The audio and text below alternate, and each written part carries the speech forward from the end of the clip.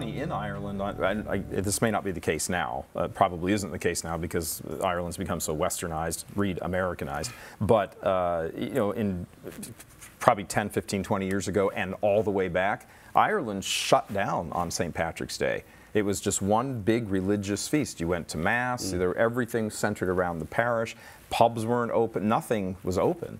I mean, you just it was it was this is the day that we dedicate to the saint who brought us, you know, the road to salvation. It really meant something. It meant something then.